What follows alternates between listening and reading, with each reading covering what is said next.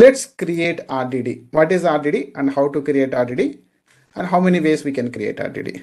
So RDD means resilient distributed data set. Like database will create a tables. So here we'll create RDD. It is a programming language. So I'm going to create RDD. Any name you can you can take. Ravi RDD. So one is a Spark context. You can use parallelize method. And input is array. So Python list.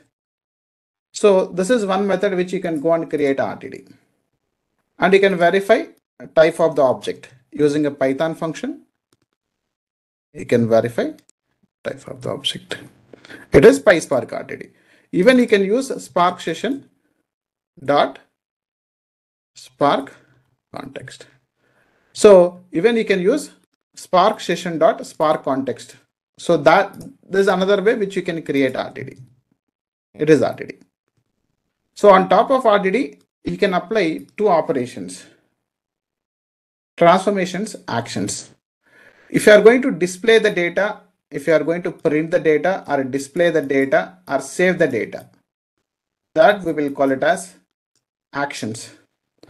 If you are going to change anything like changing metadata, changing data, like nothing but in database, we will call it as a data definition language, data manipulation language. So changing structure, changing data, data and metadata, data manipulation, data definition. So that you can treat as a transformations here. When it comes to data retrieval language, DRL, retrieving existing data, that is printing data or displaying data or saving data. We'll, we'll call it as actions. We'll call it as actions. Transformations means changing, changing. So whenever you trigger action, then job will be triggered. If whenever you apply transformation, transformations are lazy. Transformations are lazy. Here you look at this. You can go with the n number of transformation. Every transformation, it will return new RDD because your RDD is immutable. Your RDD means resilient distributed data set. Resilient means self-recovery. If any issues are there internally, it can fix internally. That is called resilient. Lazy execution. Your transformations are lazy evaluated or executed. Means whenever you apply transformation, your RDD is immutable. Immutable means uneditable. So whenever you apply transformation, it will return another RDD. So RDD1, RDD2, RDD3, RDD4. But all are lazy. Only metadata lineage will be created and the DAG will be managed that directed acyclic graph. Once you run an action, then only it will run this action, all this backend metadata, then it will return a value. Until then, those are lazy executed. Those are lazy executed. It's like train. The best example is train.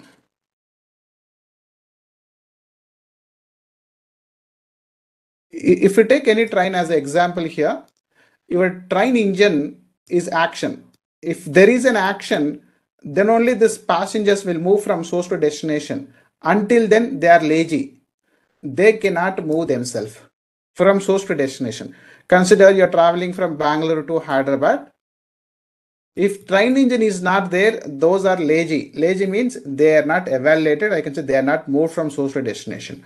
They'll move source to destination only with the help of engine. Engine is the trigger point, nothing but action. Engine is the trigger point. So similarly, when it comes to here Spark, your transformations are like where passenger will be there, passenger bogies. So those will send to the destination only there is an action. So if you do the action, then only they will send to the destination. Nothing but those are lazy executed lazy evaluated. Whenever you use action, then only it will display the data. So let's talk about a few transformations. We'll understand that. Okay, so I created RDD. Let's go with some, some more values. You can create RDD using a range function as well. I'll go with a range of 15. So if you want to display the data, so collect is one of the action. It will display the data. Whenever you run a action, this will be executed and the job backend job will be executed. Job divides into stages. Stages divides into task. By default, by default, uh, whenever you go with the parallelize method, it will create eight parallel processes, nothing but eight partitions. If you're looking for partition wise data, use a glom function. Okay, by default, when it comes to parallelize method, default eight. But when it comes to here, default it is going with a four. Default it is going with a four. And the second argument which you can specify, consider I want six parallel processes. Now if you go and verify, it will it will create a six. One, two, three, four, five, six. Okay, now even I can go with the eight parallel processes. Eight parallel processes. One, two, three, four, five, six, seven, eight. So what will happen in backend? I'll tell you that. Your job divides into stages. Stages divides into task. Eight tasks will be submitted on worker node. Job is nothing but a piece of code, maybe reading data or writing data. So we are reading data and displaying here. This is one job. Job divides into stages. So that depends on operation. It can go with one stage or more than one stage. More than one stage.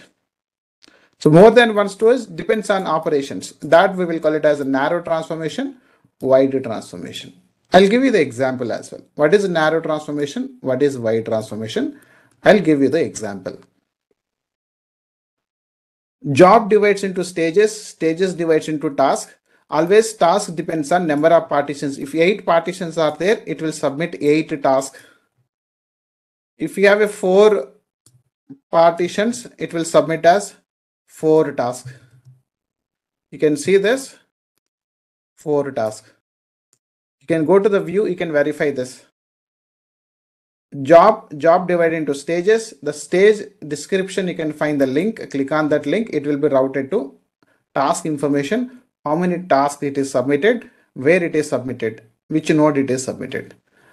Always python start indexes with a zero task zero task one task two task three four tasks which node it is submitted? This is the node.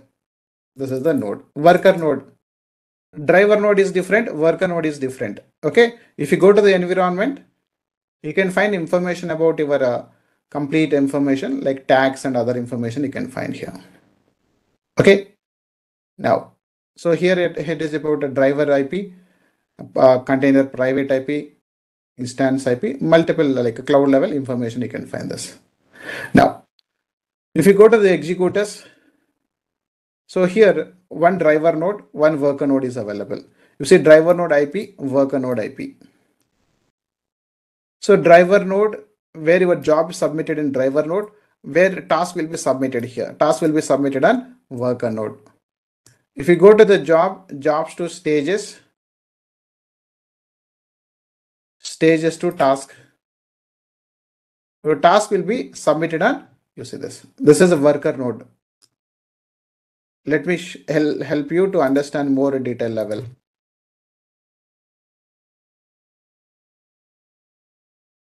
okay so whenever you submit a code through the developer developer through notebook right code will be submitted in a master node or driver node that is called job. In driver job divides into stages. The stages may be one stage means narrow transformation more than one stage means wide transformation i'll tell you that. Stages divides into task. Stages divides into task. The task always depends on partitions. One task, one partition means one task. If you have one partition, one task. If you have 10 partitions, it will submit as 10 tasks. So those tasks will be submitted on worker node to process your data. So your data will divide into multiple partitions. That data is going to process on worker node. Mean one task you need one virtual CPU, vCPU this is. If you are submitting a four task, right, nothing but four partitions will be submitted as four tasks from driver. Driver means job, job to stages, stages to task. Task depends on number of partitions. Four partition means four tasks. Your executor will have a available slots. Slot is nothing but available vCPU, virtual CPU, nothing but thread. So the, here two available vCPUs, two slots are available, two slots are available, two slots are available, two slots are available. So in this, you can go and submit a task. So that slot is occupied with a task. This slot is occupied with a task. This slot is occupied with a task. So this slot is not occupied. It is available for a task. This slot is not occupied. Available for a task. Available for a task. Slot is occupied with the task. Slot is occupied with the task. A simple way to understand. Consider you are a team lead.